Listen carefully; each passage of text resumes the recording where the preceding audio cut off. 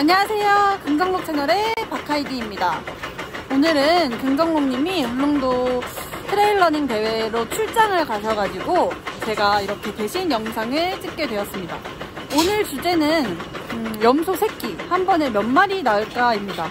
어, 어제부터 새로 태어난 아기 염소들 함께 보시죠. 자, 한번 보실게요. 여기 어제 태어난 염소 4마리인데요. 너무 귀엽죠? 여기 염소 3마리가 지금 여기 30번이 엄마입니다. 까만 염소는 엄마가 따로 있어요. 한 마리 태어났어요. 염소는 보통 한 마리에서 세 마리 정도 태어나고는 하는데요. 사실 제가 봤을 때는 두 마리 태어나는 게 가장 좋은 것 같긴 해요. 왜냐면 양옆으로 젖이 두 개가 있으니까.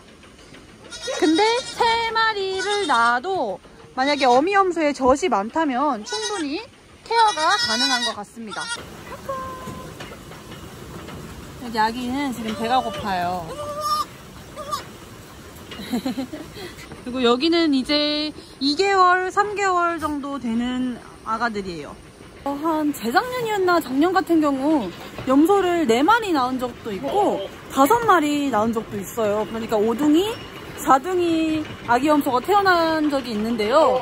그때 아기 염소들이 사실 태어났을 때는 건강했지만 많이 죽었어요. 그러니까 다섯 마리를 한 번에 케어할 수도 없었고 엄마 염소의 그 건강도 별로 안 좋았고 어, 보통의 경우에는 한 마리에서 세 마리 정도 낳는다. 여기 열판을 깔아놨어요.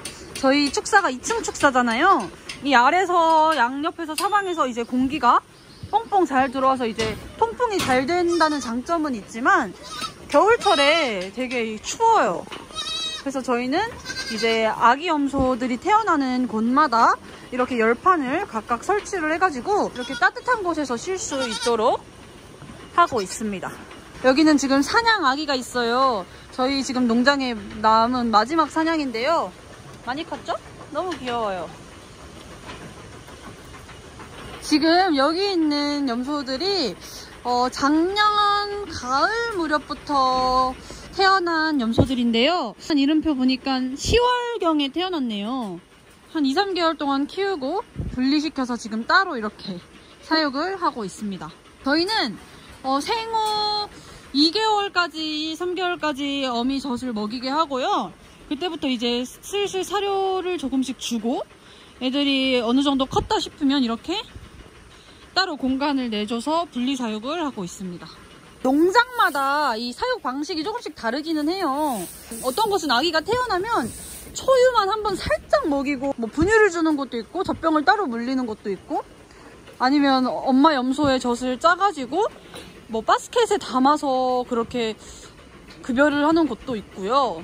각각의 장단점이 있는 것 같기는 해요. 어, 저희 같은 경우에는 그렇게 키우지만 사실 어, 모든 염소들이 모든 아기 염소들이 평균적으로 적당한 양의 분유, 모유, 우유를 먹으면서 크는 게 중요한 것 같기는 합니다. 여기랑 이쪽이랑 해가지고 작년 9월, 10월에 낳은 애들입니다. 한 100마리 정도 되는 것 같아요. 보통 그 출산 시기가 중요한데 이번에는 정말 그 엄청 춥지 않은 시기에 애들이 잘 태어나가지고 겨울에 동사하는 애들이 없어서 정말 다행인 것 같아요.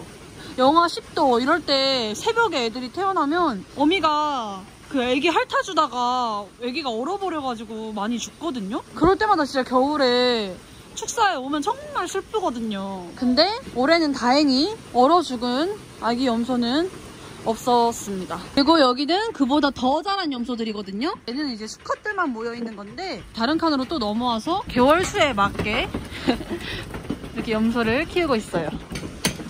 지금 저희 어머니 아버지는 여기 축사를 청소하고 계신데요. 만약에 이 2층 축사에서 풀 관리를 잘 안 하면 이렇게 어, 발판, 구멍들이 다 막혀버리게 됩니다. 중축사 사용하시는 분들 관리에 유의하시길 바랍니다. 네, 이것으로 오늘 영상은 마치겠고요. 다음 영상에서는 장수 흑염소 농장의 작년 한 해 수입 모두들 궁금해 하실 만한 그 소득 부분에 대해서 한번 알려드리도록 하겠습니다. 그럼 다음 영상에서 만나요.